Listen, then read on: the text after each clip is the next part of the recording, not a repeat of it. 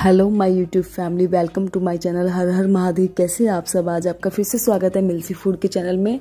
तो आज हम आपके लिए स्पेशल रेसिपी लेके आए ब्रेड पॉप्स जो हमने वेस्ट ब्रेड का यूज़ किया था। आपने शायद आपको याद होगा, मेरी जो अभी पहले की वीडियोस में मैंने ब्रेड से हार्ट बनाए थे तो उसका मेरा काफ़ी ब्रेड बचा हुआ था तो मैंने सोचा इससे मैं कुछ न्यू रेसिपी बनाऊँ।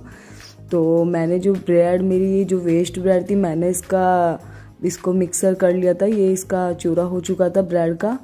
तो ये मिक्सर में हमने ग्राइंड कर लिया था। तो इसका एक पेस्ट सा तैयार हो गया अभी हमने मेथी लिया है। तो मेथी को हम कट कर लेंगे। थोड़ा बारीक बारीक।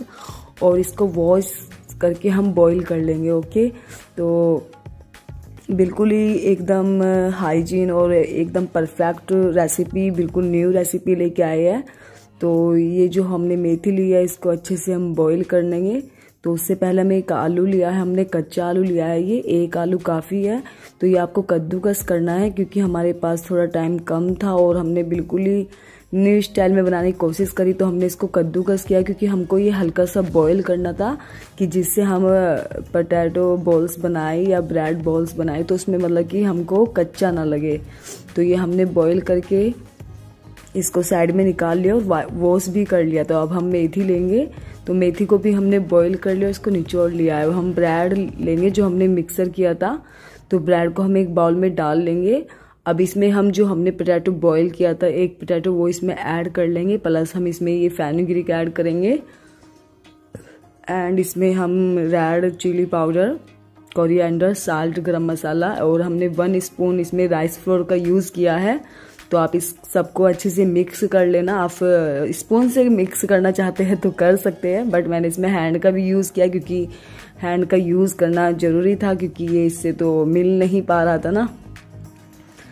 कुछ चीज़ें होती ऐसी जो हम नहीं कर पाते तो इसमें हैंड का यूज़ करना ही था हमको तो हमने हैंड का यूज़ करके इससे बोल बनाया है।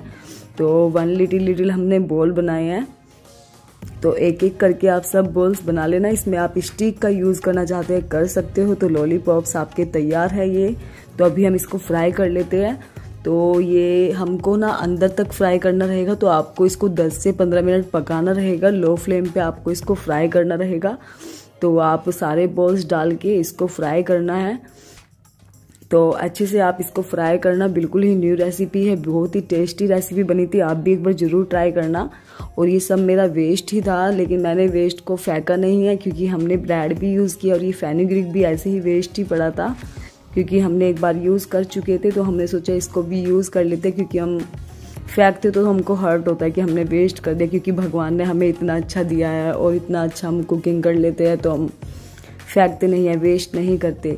तो हमने इसको ओपन करके भी देखा था तो ये अंदर से भी थोड़ा स्टीम हो चुका था, थोड़ा इसका पाँच मिनट और पका लेते हैं।